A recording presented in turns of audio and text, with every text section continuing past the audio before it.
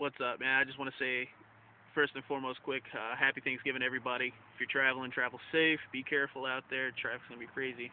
But uh, I just want to make a quick video saying that I don't, I probably won't make a real hate week video this week because the holidays, man, it's busy. I'm gonna be traveling to two different cities, and uh, I just ain't gonna have time. And that, and uh, Sean Taylor, man, his anniversary of his death is coming up on the 27th, so.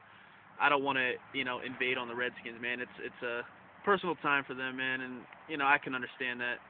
So I'm not gonna really show any hate. Plus, I'm a Sean Taylor fan too myself. You know, coming from the University of Miami, from the U, and I'm a Miami fan. So, um, you know, so I do believe that we will win. We will beat the Redskins.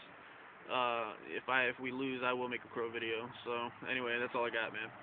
Go Birds.